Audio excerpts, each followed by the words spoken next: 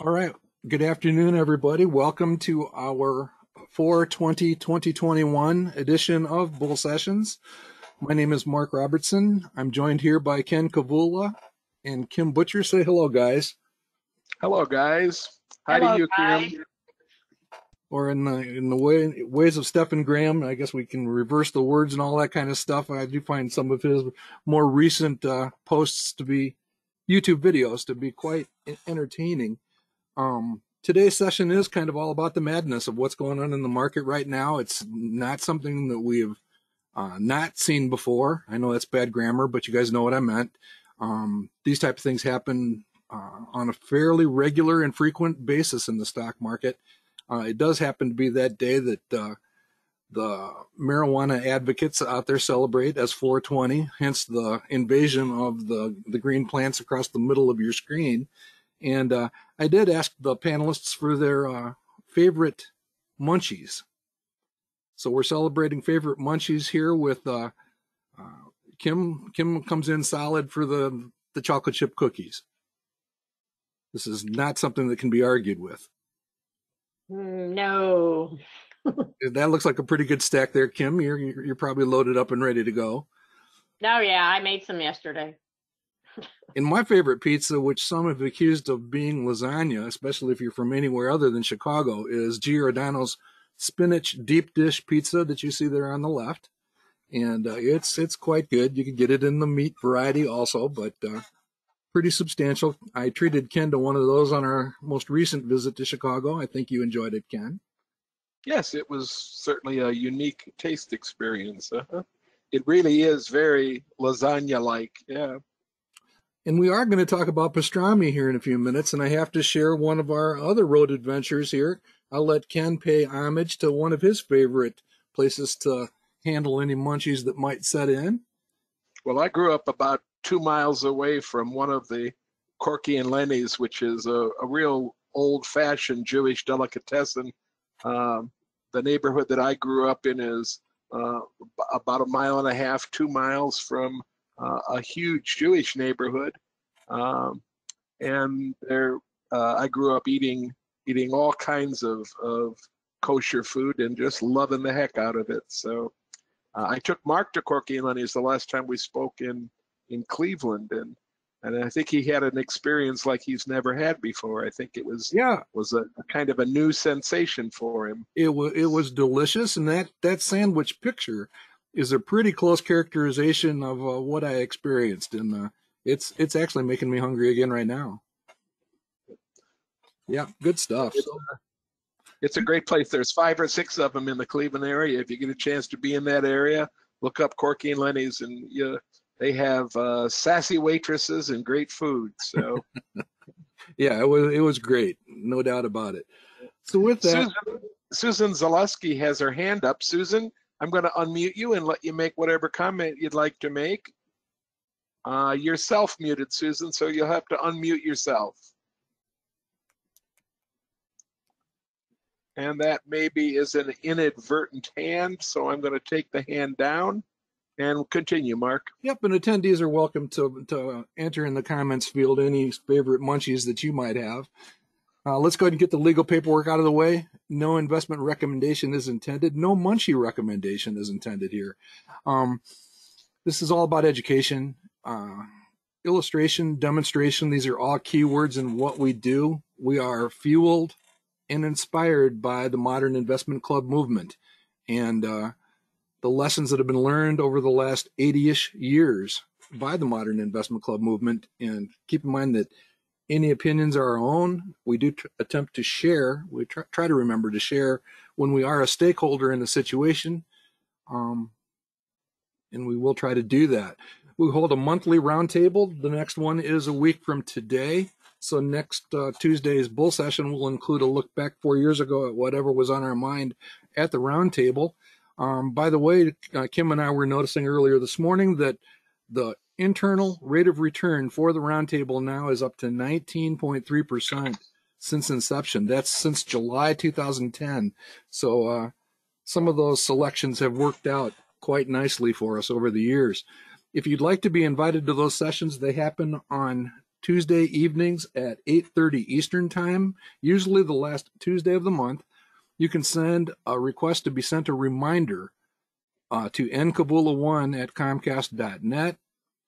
If you would like copies of slides or if you have follow-up questions or suggestions for things you want to see us talk about, please send me an email at markr at manifestinvesting.com.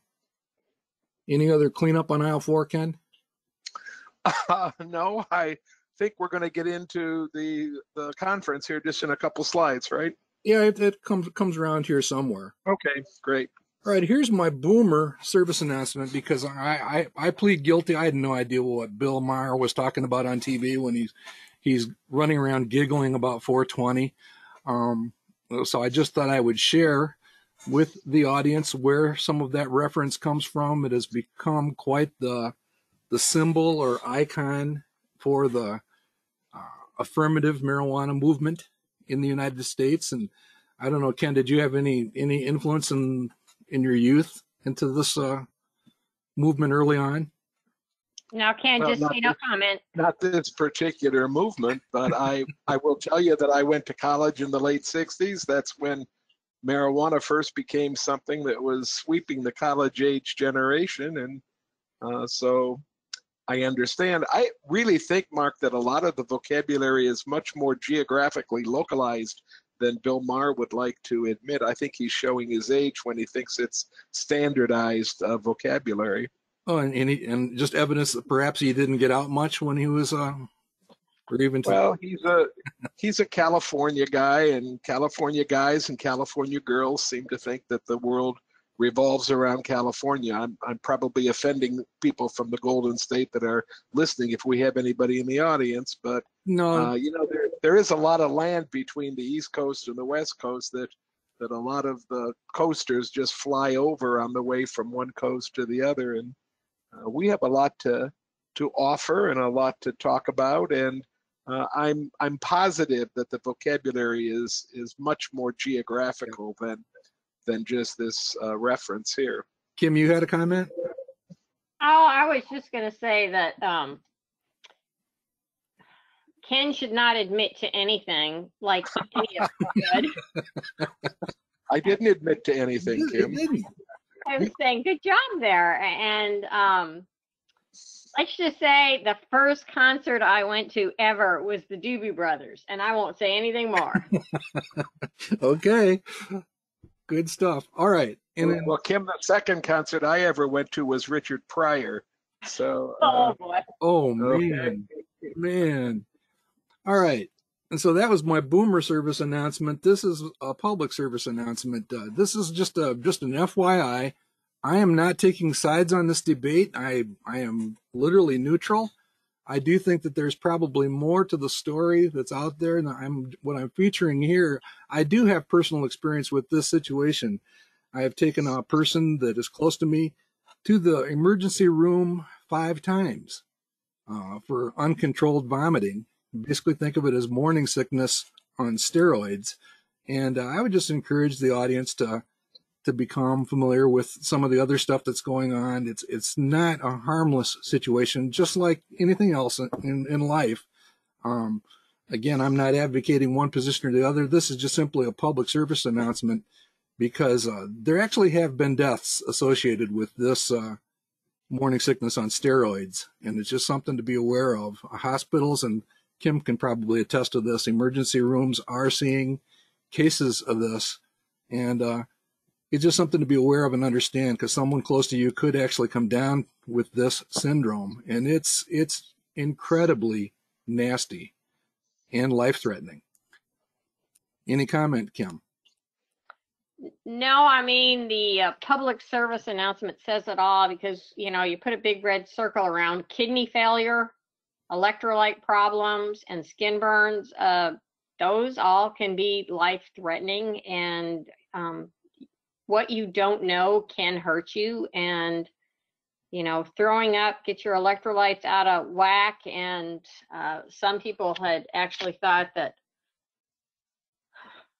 marijuana would help your nausea, but it can also do the opposite. It can make it worse. So it's it's always great to be knowledgeable, and I uh, think it's great that we're giving a public service announcement out there because there are a lot of people who think uh, what smoking Mary Jane or MJ is like no biggie.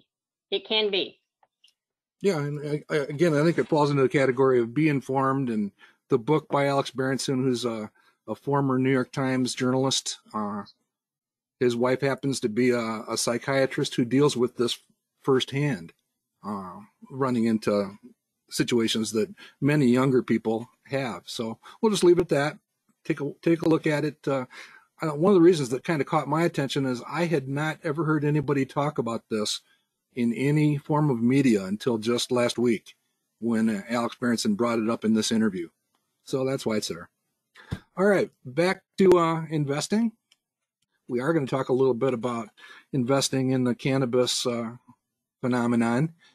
But uh, here are some of the topics that we have committed to cover in future sessions. Today we'll take a look at, we do have a new sheriff in town. Uh, we want to relive that $4 million moment, which happened two days after last week's session where we warned you that Tin Cup was getting up there. Apparently, it's not up there today. Uh, I haven't actually looked, but we're probably well back under 4 million now. So we'll get to celebrate again when we break 4 million again. I want to talk a little bit about Dogecoin, Doggy Coin, or whatever you want to call it. And then, as Ken was alluding to in the green room, we have seen periods of uh, irrationality before, and we'll actually go back to not quite to Ken's youth, but the mid 1990s, and talk about Alex Green, Alan Greenspan. And uh, here's that comment, Ken, about the the deli. The the pastrami must be amazing, and we'll take a look at the actual fundamentals behind that one, and just uh, the cannabis environment in general.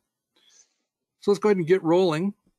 Here is, uh, you know, I was getting teased in the green room for those of you that are just joining us about my name not being on the li- this list, and Ken uh, Ken is in there in the top 20, actually ranked 22nd, but three of those are are Rhino, so he's actually 19th.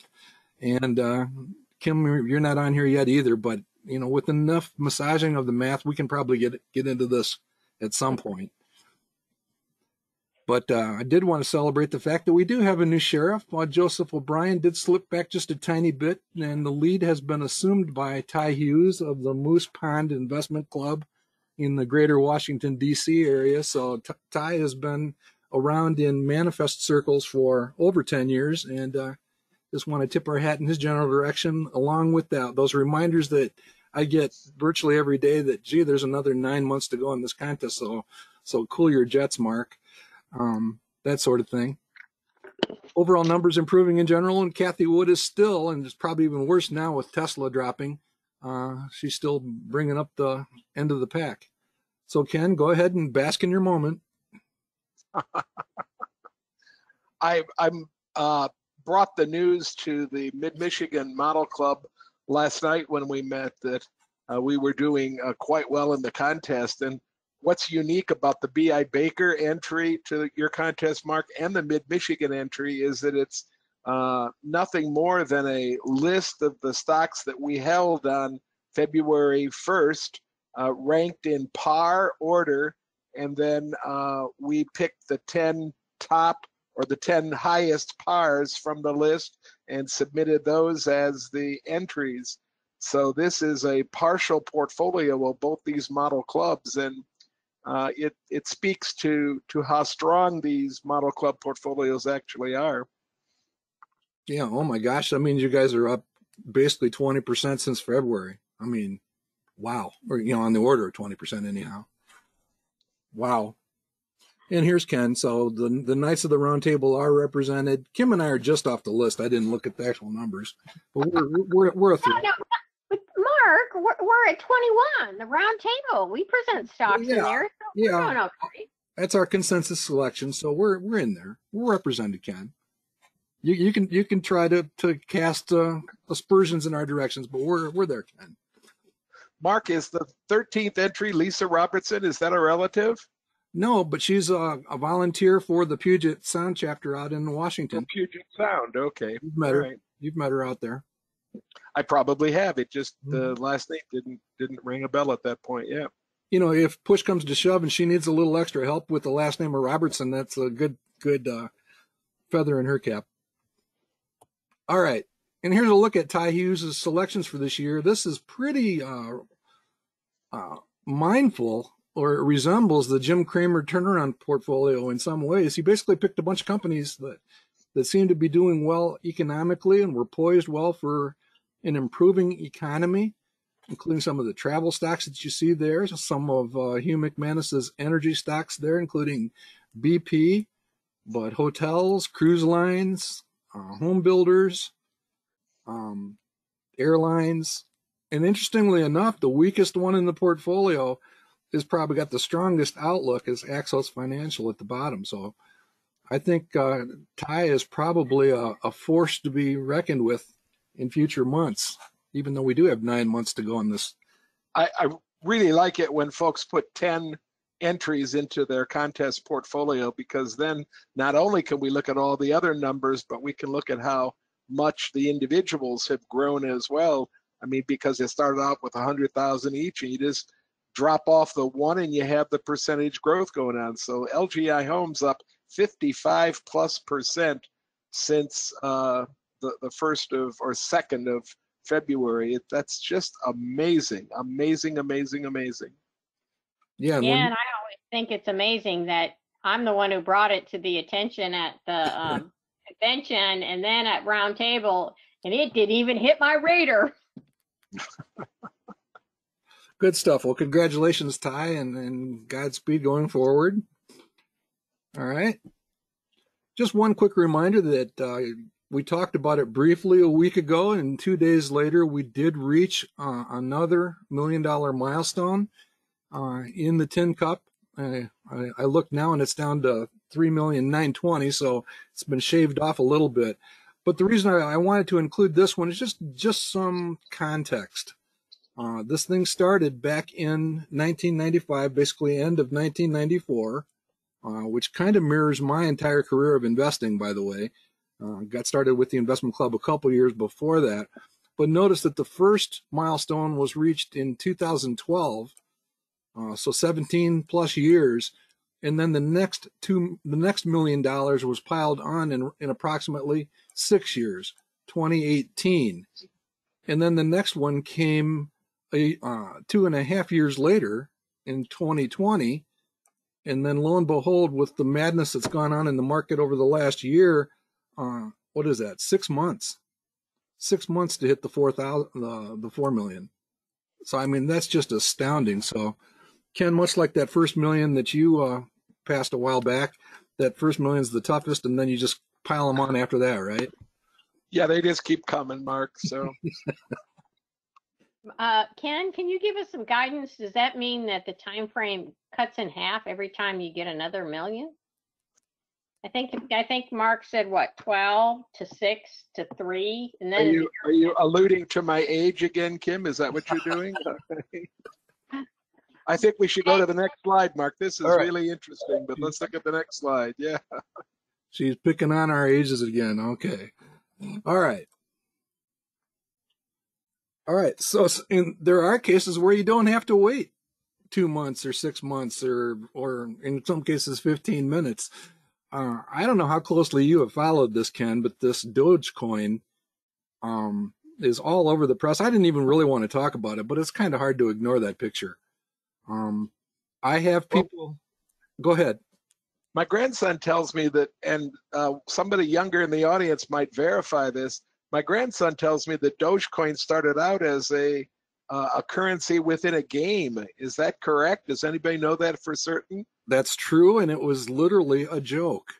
It was actually okay. poking fun. It was uh, uh, an analyst programmer at Adobe that actually did it, and then somebody picked it up. And uh, if if you want a good overview, if you're not familiar with Graham Stephan, that YouTube link down at the bottom he's a riot. It's about a 10 or 12 minute video where he gives you the history and, and talks about this. And he starts off the video with saying he invested a thousand dollars in, I'm calling it doggy coin. I know it's not functionally correct, but it, it's doggy coin to me.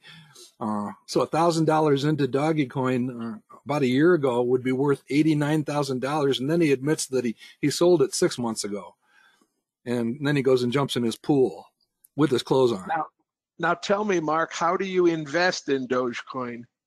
you can most of the major brokers uh, have direct access and you can buy it just like you would buy any type of currency. It's just like buying a stock, basically.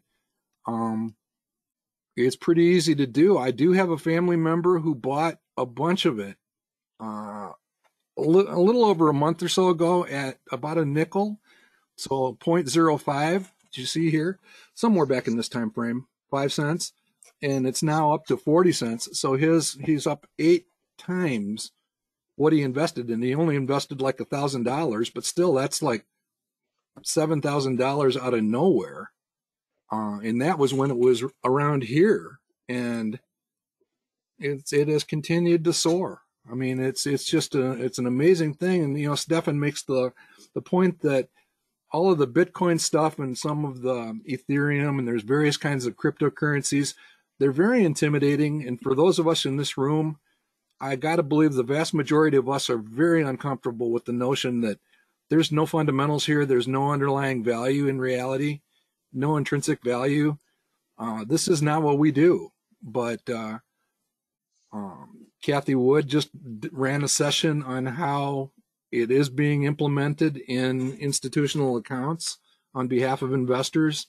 Um, it's it's just fascinating. I would say just become familiar with it and at least understand the the scenario, uh, even if it's a bit challenging to understand what in the world's going on here.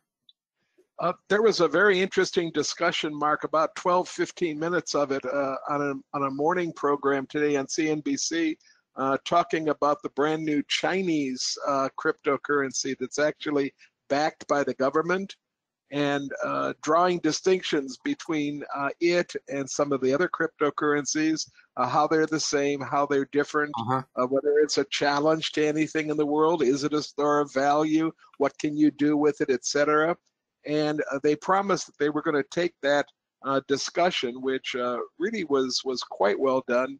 Uh, it goes about 12 or 13 or 14 minutes, like I said, and they were going to put that uh, in a uh, a snippet on the CNBC website. So if that kind of thing is interesting to you, if China has done this, I would not hesitate to guess that other nations will follow for one reason or another.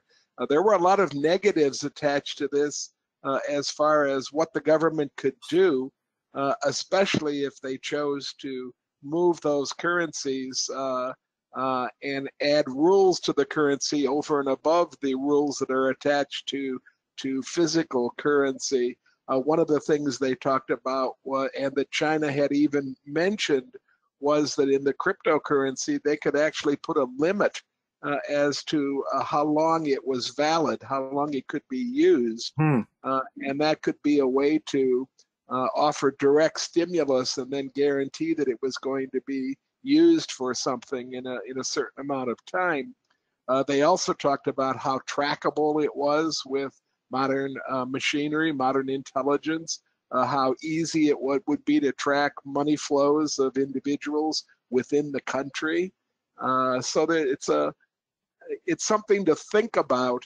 Uh, one of the gentlemen uh, brought that was brought on uh, talked about it was his biggest nightmare.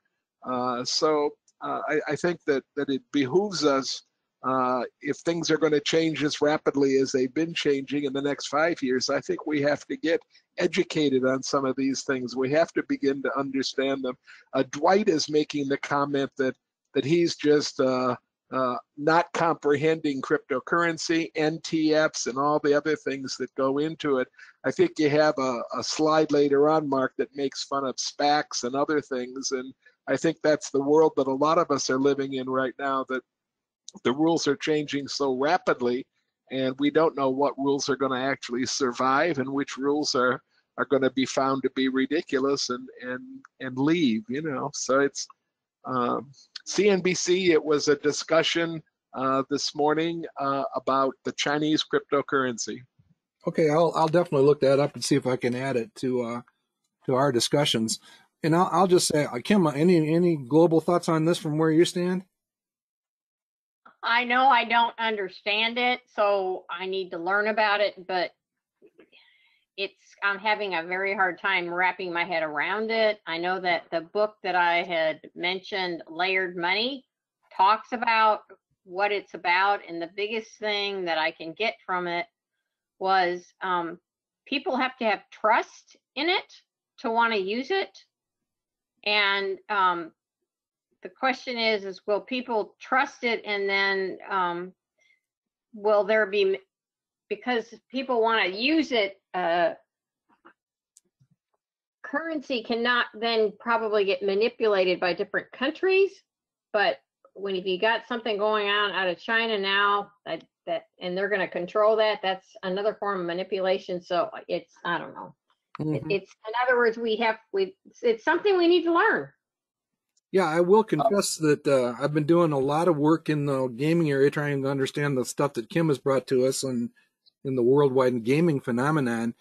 And what I I think I have discovered is that Ethereum, which is another cryptocurrency, is is directly related to gaming, and that uh, this Ethereum is definitely in the in the blockchain mode of stuff. So it's it's it's got a number of different areas that I want to understand better, and I have been tracking Ethereum as a potential purchase. The ticker on it is ETH. Uh, if you want to look it up um, and see if your brokerage firm trades it, just to just to track it. So it's it's something. I mean, I'm I'm I, I was I was half joking about coming up with our own currency with a groundhog or a a, a smiling bull on it. So you know, it's it's it's weird. Just accept that it's weird, but try to try your best to understand it. Well, and the point was the point was made many times uh, today in the discussion that just because you add the word crypto in front of the word currency doesn't mean you're talking about the same thing. Just as in the late 90s, when you added a dot com to the end of a word, it didn't necessarily mean it had anything to do with with internet or or anything else other than than uh, fashion. You know, uh, Matt is making the point uh, out in the audience right now. Matt Spielman is making the point that uh, the European Union uh, is expected to, to decide by mid 2021, which is coming up in a couple of months now, whether or not to launch a digital euro. So Right, uh, right. the European Union might be following, uh, and again, that would be something not necessarily the same as a cryptocurrency, but there would be overlapping things that would be involved with it probably. And, and maybe it's not so far fetched. I mean, I, I see my family trading around with Venmo all the time. So, you know, this old dog might learn a few new things. You never know. Apparently, you can Venmo cash to just about anybody. All right.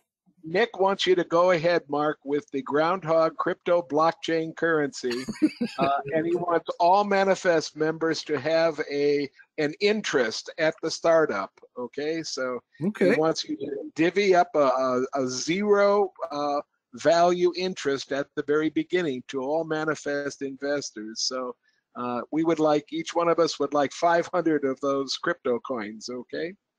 All right. I, I, I mean, it's not out of the realm of trying to come up with a demonstration that would help explain this. I am not kidding when I say, you know, if, if I found a way to, to link it to a subscription or something to help understand, um, it's not out of the realm of possibility. That's for sure. and and with the luck that that uh, some of us have, Mark, uh, you'd probably end up being the poster child for the SEC to go after the whole industry. You know.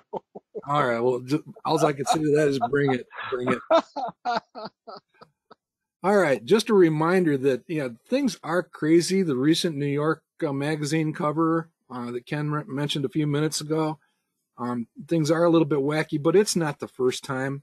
Um, I remember the day back in 1996. It was actually December 5th, 1996, when Alan Greenspan uh, made that comment about irrational exuberance. And uh, uh, long story short, the markets continued to soar for another four years before taking a breather.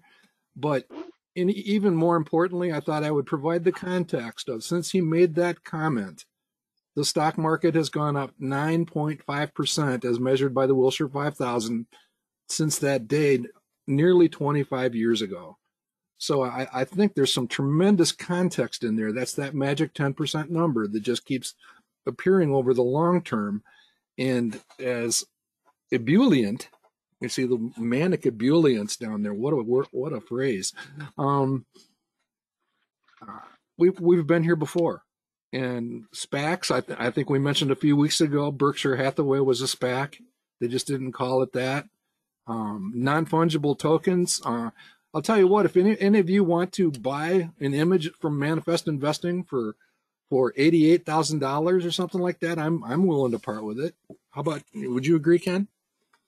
Uh, yeah, as long as I get my share mark, okay. and and again, folks, I don't have any ties uh, financially to Manifest Investing, so don't uh, don't tell me that I own a piece of the company. Okay, It would be a gratuity, Ken. A gratuity. Okay. Uh, Sean is making the point that you could think of these things like credit cards that came out in the 50s. Uh, you have to trust the company or crypto you are using.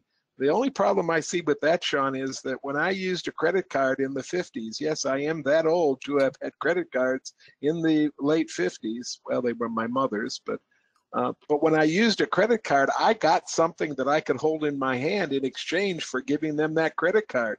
The trust wasn't on me. The trust was on the merchant that they could then uh, get the money from me at some later date, uh, get something else that we had to trust had value for in order for it to work. That's currency. So I, I don't think that it's a it that's a a, a real good uh, example of how this stuff works today. Because when you buy a Dogecoin or a Bitcoin or a piece of Ethereum, uh, you don't get anything. Uh, they just tell you you have it. That's it and uh, it's nothing you can hold, it's nothing you can see, and in some cases, it's not even very easy to check uh, where it's supposed to be deposited or or vaulted or whatever you want to say.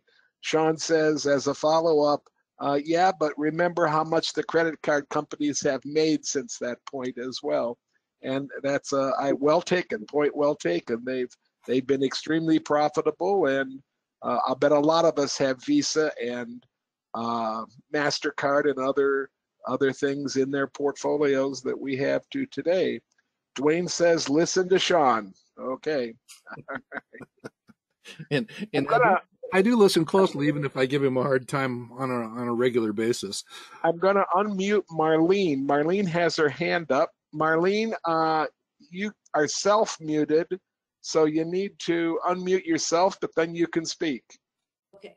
I just want to tell you, I haven't had time to read it, but there's a section today in the Wall Street Journal that explains Bitcoins. Uh, it looked kind of interesting. It's a couple pages, so whoever you know can either read it online or get it. But uh, I just wanted to let you know. I will take a look at that, and I would also point out that Barron's had an extensive feature that I have not read yet uh, a week ago in Barron's magazine. Well, we have a, a break right here. I'm going to unmute Dennis. Uh, Dennis uh, Roman. Dennis, you're self muted. You'll have to unmute and then you can speak to us.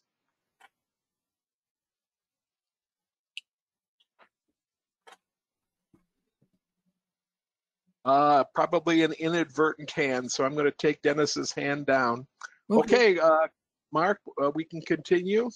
All right, are you ready to talk about amazing pastrami?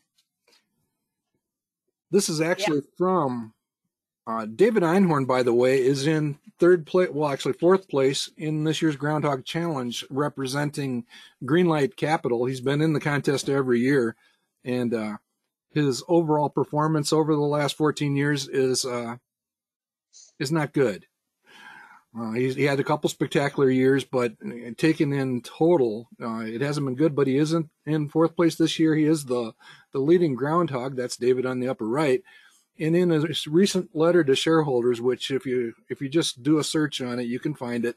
Um, he basically made the comment that this particular company, uh, which he brings out as uh, an example of some of the madness going on right now, that the pastrami must be amazing because that is a that is a picture of the business. They've not made a profit in uh, the last five or six years for sure, and probably not before that. And uh, yeah, they've had uh, a year off due to COVID. They were basically shut down for the last quarter of 2020, but they were still headed in a pretty nasty direction. And this particular company has gone from a stock price of one dollar up to a, a high of, I believe, 1450 and those 7 million shares outstanding means that the company was in theory worth 100 million dollars. Um it's just kind of hard to imagine. Uh, i mean the pictures are there. I mean i put the pastrami over the pe ratio because there isn't one. And uh it's a it's a fascinating situation. Um as you dig in a little bit deeper you find a, the word macau as a province of china in there pretty prominently, and you find out that uh, the father of the CEO, who happens to be the high school wrestling coach, um, is is a three hundred thousand dollar per year contract, and it just becomes quite fascinating. Um, I'd love to extrapolate this to manifest investing terms and find out how much Ken and I could uh, uh, royal the world for. I mean, Ken, I could hire you for a few million dollars a year under this model, apparently, and not have a problem just amazing. So I, I think it's just an example of you know, Einhorn brings this to the attention of you know the public that there are these type of things out there. This I think dovetails into the, our discussions a few weeks ago about the China hustle and finding a, a small you know companies that you can basically reverse uh, enter the domestic U.S. market. So that that's what this slide's about, Ken. Any any reactions? Any guttural reactions? I just uh, was wondering if if this has fallen in the same trap that uh, a lot of the Reddit stocks have fallen into. Is this highly shorted, perhaps, and somebody trying to to uh, do an end run around the shorts? I, I just it doesn't make any sense to me. So, and when that happens, I don't. I'm not very interested in it as an investment. So. No, no, I'm not calling it out as an investment. I'm just saying that how yeah uh, short or long, and it's just amazing. And, and Kim, Kim, you can probably speak to some of the fine print. Well, I did go to the SEC website and I looked at the financials, and all I had to do was look at it for, I don't know, two or three minutes. And I went, this makes no sense whatsoever. So I'm avoiding it. And the next thought I had is, what are they doing? Laundering money or something? It, it sure it sure seems to resemble laundering as I understand laundering, and and uh, uh, I don't know. I, I, think this falls into the category of uh, there's a lot of enforcement to be done, Ken, as we were talking a few minutes ago, and it just just one of those wow moments. Well, I, I do hope that that uh, with the change in administration comes a little bit of effort to beef up the the abilities that the SEC has to help us follow some of the rules that are already in place. Uh, I know that there was an, uh, I, I, wouldn't say an active attempt, but I know that in the last uh, administration, the SEC uh, became weaker than it had traditionally been. So. All right. We'll stop talking so, about them because we don't want them paying attention to, to us either. Uh, Mark, I'm going to stop you and try Dennis again because he is trying to speak to us. So, Dennis, uh, if you will unmute yourself, there you go. Now you can speak, Dennis. Hey, Dennis. Thank you so much. Yeah, thanks so much. This is a very just a soundbite. People were wondering how do I buy cryptos if I wanted to, and the two easiest ways would be to either download the Coinbase app or the Voyager app. Either one, both wonderful, uh, off the App Store, and just fire up an account and fund it. Um, and all of the cryptos, hundreds of them, are all listed right there. They trade 24 hours a day, seven days a week. It's very easy to do if you're in if you're motivated to want to do that. My only uh, my only predicament was they won't they won't connect to Charles Schwab. They ch- they connect to most big banks, but they won't connect to Schwab. So interesting. Um, that's the one bank you can, and when I go to Schwab to try to buy uh, crypto, they won't sell me any. So anyway, Schwab is off the chart. But if you got a regular old bank like Wells or anybody else, you could fund your account from your bank account and and just go buy hundred dollars of a dot zero zero zero one crypto and wait for it to go to zero, zero, one, zero, and you'll be rich. Well, I'm telling you. I mean, I have relatives who did this. What you're looking here on on Doggy Coin, they did this, and I, I thanks for bringing that up, Dennis, because it actually brings kind of closure to what we've been talking about. You you can't you can't help but take this seriously in some regard. The Coinbase company that Dennis just mentioned came public last week at a market capitalization of 85 billion dollars. Um, that is just I mean, that is more than I, I believe 20% of the S&P 500 Ken. Uh, so it, it can't be ignored. It just simply can't be ignored. Uh, Sean keeps wanting to say something, so I'm going to unmute Sean here. And Sean, you're self-muted as well. Uh, yes, actually, when, in regards to that, oh, can you hear me now? Yep, can hear you, Sean. Oh, right. So, uh, in regards to that, um, what's funny about it is Dogecoin, uh, or you can actually purchase futures through Schwab. You don't have to. Uh, you can't trade the actual coin itself. Uh, Sean, I'm going to interrupt you. Uh, you have a radio or a TV going. Can you turn it down? Yeah. Sorry there. It's competing So- with you. Okay, go ahead. Sorry there. So you can actually um, purchase futures through Schwab. You do, you can't purchase the coins outright, but you can purchase the um, Bitcoin futures through Schwab if you'd like to. Also, I wanted to note that the um, the trades for Doge for any cryptocurrency they're 24/7 as well, and they're not regulated at all. So there are a lot of pump and dump schemes going on with it. So it's just something to be to be aware of, especially with Dogecoin. Um, happening right now because the same thing happened in what 2017 when Bitcoin hit 20,000 and then it just collapsed to like 13,000. Sean, I, I do have a question for you. Are they subject, are these places uh, that we're talking about, these exchanges, are they subject to the reporting rules so that if I would make $100,000, uh, that gets reported to the IRS as a capital gain? Uh, no, because they are not um, required. They're not technically employers. Like Robinhood would do it because they're they're as a they're a trader. You can buy Dogecoin through Robinhood, um, but they're designated as a trader through the SEC.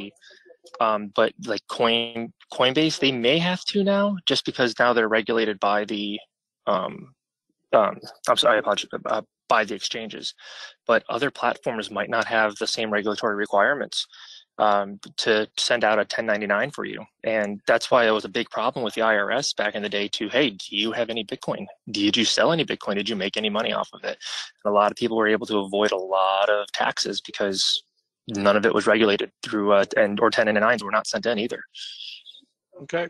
Well, it's, it's So also that- interesting. So that it- to it's the wild, wild west is what it is then, right? Yeah, it's also interesting to note that the new, in fact, the new sheriff in town at the SEC is Gary Gensler, and somebody asked him what what are these cryptocurrencies? Are they securities, equities, or currency? And his answer to that question was yes. And who knows what that means? So we'll see. All right, are we ready to press on, Ken? Uh, yes, we are, Mark. Yes, we are. All right, let's go ahead and close up with a couple of things we had talked about, including our tribute to the, the cannabis craze. Um, I had mentioned a few weeks ago about this investment that I have tracked for the better part of 30 years, this thing called Cuba.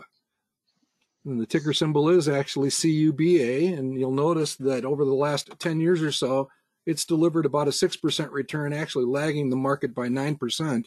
And uh, we just made kind of the left-handed comment that it was might be interesting to study because of the content, what it's actually composed of. And I'm, pretty sure we called out Mastech. It's a good study.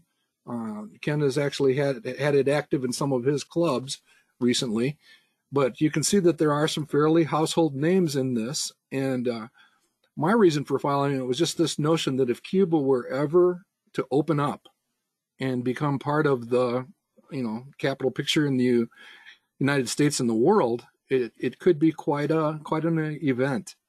And uh, what I wanted to put into context, and first, uh, an admission that I missed this again uh, last November. I'll tell you what I mean by that in a second. But the purple line is the the Cuba Fund that you can see here in this long term chart going back approximately 20 years.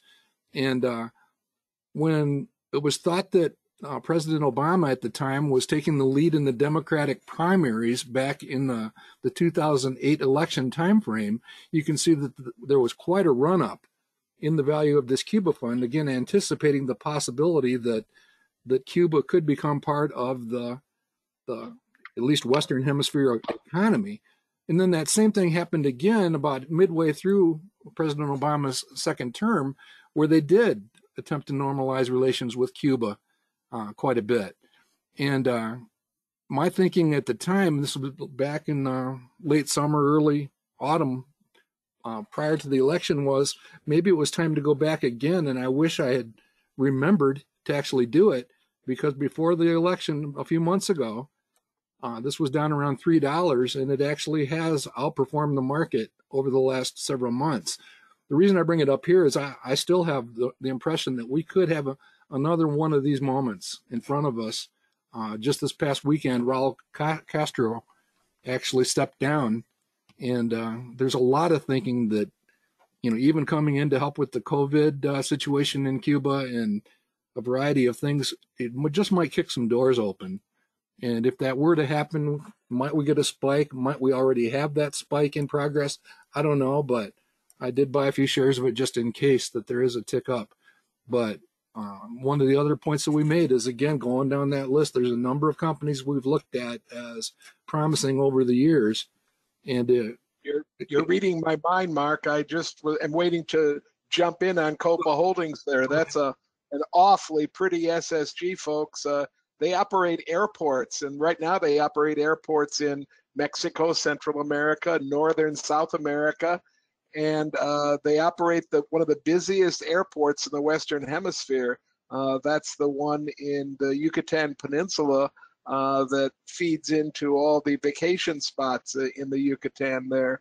Uh, but if uh, if Copa got a chance to go into Cuba and operate airports, that certainly would be a big plus to this company. That's a really pretty SSG if you're looking to find companies that that that read real nice. This happens to be an ADR, but I would I would say take a look at it, and I'm I'm surprised and pleased to see it on a list like this.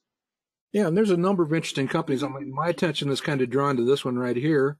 That is a tech, uh, a ticker, believe it or not, but it's on the Mexico Exchange.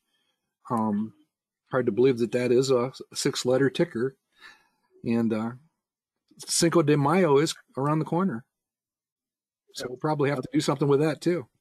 There must be some thought that American home builders would move into Cuba as well. There's Lennar, just you know, nice vanilla home builder on the list right there. Uh, it's a big home builder, one of the largest in the country, but uh, there it is sitting on the list. Uh, B.I. Baker, uh, the model club that uh, is doing quite well in the groundhog contest, uh, is riding Mastech right now. It's one of the best performing stocks in its portfolio, and it's a stock that I hardly ever see in any other club's portfolio.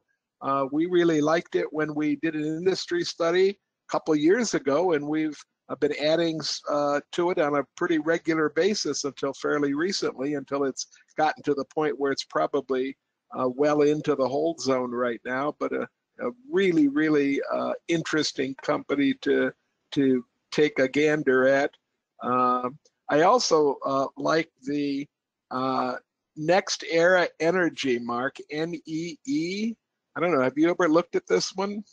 Yeah, they're they're uh, it's it's the old uh, one of the Florida utilities. I don't remember exactly which one. Yeah, it's a Tampa. it's a utility that's gotten into alternative uh, energy big time, real big time, uh, and uh, it's it's not as pretty an SSG, but it certainly uh, has a lot in its story. And if you if your club likes to look at story stocks that might turn into uh, you know really really good earners as well, NEE might be a, a great study to put together. Well, I mean, the, the, this this particular fund also brings Kim to mind. It was this would be her neighbor down there in Central Florida, and uh, notice the number of lodging and hotel stocks there, Kim.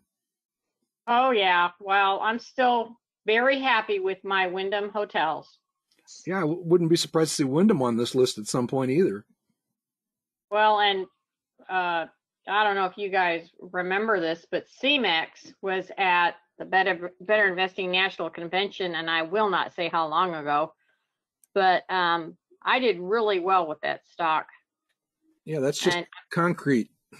yeah, well, concrete infrastructure building, and the biggest thing that CEMEX does in Canada, because they're out of Canada and they're here in South Florida, but or not Canada, in Mexico, is I was going to say, yeah, okay, yeah, go on. well, it's yeah, but they distribute the the the mix everywhere because water is everywhere, but they, they are much more. They don't have uh, the cement trucks everywhere. They just distribute it by the five pound bags Yep. in yep. Mexico more. I remember that. Number one Yeah, building if material. you're, if you're looking for a building material play for the U.S., let alone for Cuba, uh, Martin Marietta keeps popping up in our studies in the clubs that I'm uh, a member of. This MLM, uh, that's basically stones and aggregate, uh, and it's uh, an, another fairly decent-looking SSG. Well, I know that uh, one of the clubs I talked with, um, they were saying the same thing because anytime if we get an infrastructure bill, that will do well. And um, like uh, I was really thinking that hopefully the the stock that I presented last month at the round table, Road, ROAD, because Mhm. they're they're uh, nothing but doing a lot of asphalt on the roads and all, and they're just in like a five state area. So that may really do well too. All right, so I guess we can wrap this one up. I, I also am kind of moved by the fact that this is a 6% uh, projected return on value, which is above average value, but um, it's it's a back door, maybe front door infrastructure play for sure. And uh, could be very Mark, you would you would expect the par numbers to move up uh, if the Cuba suddenly opened to uh, tourism or something like that, wouldn't you? Oh, absolutely. Yeah, I think um, Yeah, you know, okay. again, on some of these companies, it would be such a small piece, but for others, it would be uh, quite substantial. I mean, the bigger picture Yeah. would just be the the broad uh, opening. I, I like the the idea, but what strikes me more than anything else is is how ordinary, and maybe that's not quite the right word, but how ordinary the top maybe ten or twelve holdings are. That uh, they could, you know, they could be. You could make a case for them in almost any portfolio. They don't have to to specifically talk about Cuba. Exactly.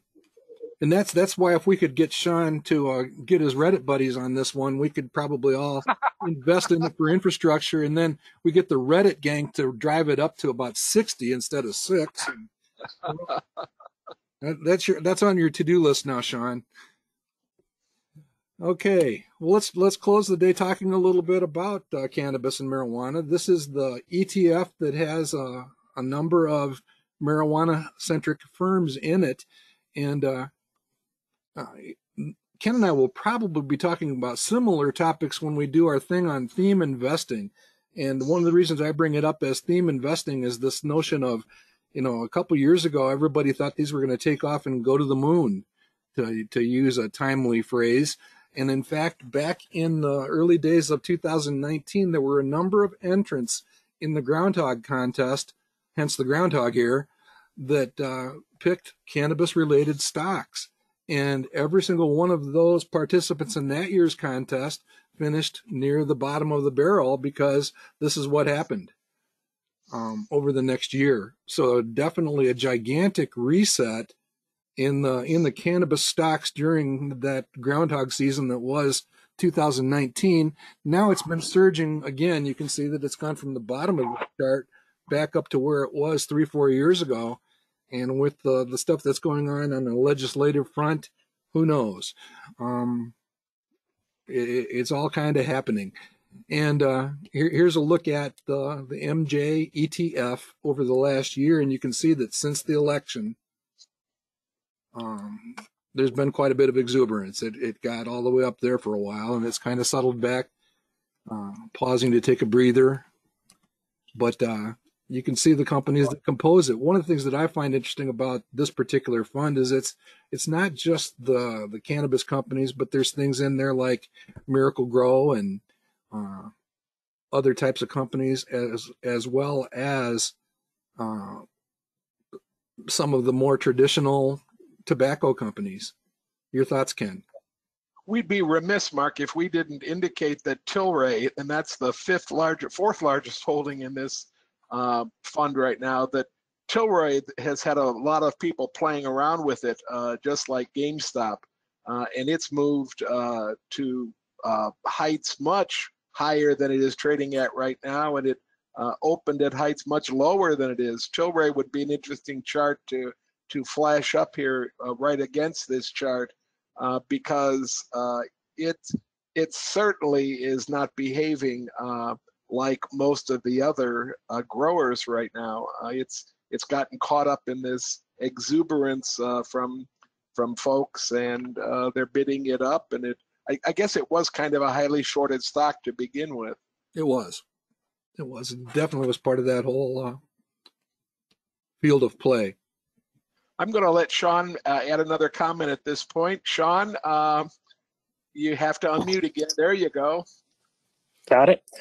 Yep. Yes. Uh, so, and Mark, we briefly talked about this actually. Uh, that for a lot of the cannabis stocks, the federal employees and active military, well, any military in general, regardless of the of the legality in in their state, it's um, pretty much illegal for them to own um, cannabis stocks. So it can once that I imagine once something like this is um, is lifted, to be able to invest in these stocks for the federal employees and and military, that you might even see a bigger jump um, in these stock prices. Yeah, and that to me, that's just an example of the the lingering confusion, you know, in the when it comes to the legal side of marijuana. You know, I believe now we're up to I don't even know the number of states where it's either de- decriminalized or legal, and it's it's just a, a very uh, fluid situation for sure.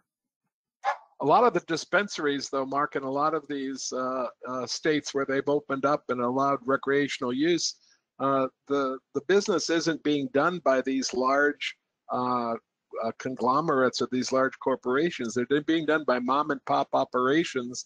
Um, uh, I have firsthand knowledge from the point of view that in Michigan, when we opened up to recreational drug usage, marijuana usage, they allowed the towns and the cities and the townships to decide whether their dispensaries would be located within their borders. And so a lot of our geography opted out uh, of distribution. And those that did opt uh, were suddenly inundated with very, very small uh, uh medicinal slash recreational uh, dispensaries. Uh, we have a stretch of highway uh, two miles from where I live. And on that stretch of highway, in a three and a half mile stretch, there are 17 dispensaries. So uh, you can see what, what happens. The, the problem is that they're all operating on a cash basis. Right. They don't have access to the banking system. And that's causing uh, a lot of issues. There's uh, it, it makes for a lot of um, uh, a lot of inability to actually know how much uh, money is running through the business uh, because uh, there's there's no way to keep a record of, of what the deposits uh, are in any way, shape, or form. You have to take everybody's word for it. And uh, even though the county, my county, made half a a million dollars from recreational marijuana in the last tax year, uh, everybody is kind of certain that that's just the tip of the income iceberg as to what's happening. Yeah, uh, and 100% with that, uh, I can imagine stock. You'll see a lot of uh, uh, bank stocks go through the roof as soon as they're because they've been staying away from from this stuff. So as soon as you you see a like federal legality on hey it's okay to, to do this stuff you're going to see bank stocks go up because they're going to get a ton in fees uh, um, and profit for just for fees alone and think how much it raised up in Colorado the very first year. Wasn't it like over a billion dollars with a B that they raised just in the first year of marijuana um, legalization? I mean, think how think what that would do to translate if you did it across the U.S. and you included the banks in, in it and able to give out loans to, to businesses. Yeah. So it's Right now, it's a huge thing. are, the banks are afraid of losing their charters uh, if in fact something uh, like that would happen. So um, uh, I, agree that until we get a federal ruling on on the legality and until it becomes legal everywhere with the states perhaps having the ability to control it like they do liquor, uh, I think you're you're going to have uh, this uh, uh, ghost economy that exists right next to the real economy when it comes to to the marijuana trade. Yeah, very interesting. I, I mean, I can't imagine. I, I believe that every single dollar in cash that's uh, in these cash-based businesses gets reported for tax purposes. So, um, that I'm being sarcastic. Um, there's, there's I have a I have a comment from Dennis that I'm chuckling at, Mark. He says probably a great economy out there. So anyhow, Ken, what I'm thinking is, you know how the how the Traverse City uh, uh, wine company uh, country uh, has the these tasting things that you can go and do. tasting I'm not sure that exists for the dispensaries, Mark. I'm not sure I can go in and Well, and I'm thinking you and I. I'll, I'll drive up. I'll bring. I'll bring some Dogecoin, and we'll see if they'll accept Dogecoin, and we'll go on a on a test. fill the back of the fill the back of the minivan with munchies, and we'll be all set. Okay. All right, Uh, we got, Dennis, we got Dennis has a comment. I'm going to give you, just give you this comment because you'll you'll smile at it. Okay. He says, "Can everyone can everyone in the audience raise their hand uh, that who's okay with their airplane pilot smoking pot?" So it's oh, that it's just that- one one viewpoint, Mark. Just one viewpoint. that, Okay. that, could, that could go in a lot of different directions. All right, Ken, I'll turn it over to you to bring us back to uh, the realm of Our information is going out. In fact, it went out to our uh, guest list about successful investing three. Uh, in uh, the next uh, uh, roundtable next Tuesday and in the next bull session, we'll have actual dates and times uh, attached to this uh, section. But here's the classes that we're going to teach. Uh, we're going to be dealing with uh, small company updating and searching for new ideas. Uh, we're going to do a, a class called From Theme to Target, identifying actionable ideas and, and trying to help people uh, uh, focus uh, a little bit on what they really want to invest in instead of coming up with such a general idea as EV, electronic vehicles, or infrastructure, but trying to get them to focus. We're going to talk about portfolio design and management and and we're going to uh, spend a little bit of time again talking about core versus non-core and uh, how a, a well-created, crafted portfolio uh, probably has room for both kinds of investments. Uh, Sai is doing a class called Stacking the Odds in Your Favor. And then we've put together a distinguished stock panel. Uh, and we just hope that we can do half as well as we did at the last uh, successful investing conference in giving you great ideas for investing. Uh, our picks from uh, last, I don't know, it would be last November, last October, something like that. Uh, we're really uh, just sailing real high and doing a great job. So we'll bring those people back. We'll add a one or two more to the panel, and we'll try to give you some great ideas. All right, here's our reminder that you can access any of these sessions if you happen to miss them and you want to do some catch up or share with a, a friend. Just go to YouTube and uh, search on Manifest Investing. You will be presented with all of the past programs. This is what you see if you actually click on that videos tab, and they go back uh, the better part of 10 years now. I circled all the roundtables from the, the past three months just to make the point that all of the roundtables are, are also archived there, along with any educational themes or sessions that we do. And uh, just to make a point, the five sessions from May and November are uh, available there, and you can see that uh, you can take a look at those. Reminder that uh, the April roundtable is a week from today, uh, 8:30 Eastern time, and uh, I, as I was saying earlier, the internal rate of return on the tracking portfolio is up to 19.3, Ken. Uh, almost six, a relative return of six uh, percentage points to the market now. So good stuff. My only regret, Mark, is that I didn't put in uh, a hundred bucks for every single choice we made all the way through the years. You know, it it would have been an interesting portfolio to look at, and it would have been an extremely uh, lucrative one as well. Well, my regret would be that I, I can't say that I did it and, and one up to you on it. Uh, I've invested in a few things, but not not as regularly as probably should have over the years. Yep. All right, and we'll close with this picture. Any guesses as to what this is a picture of?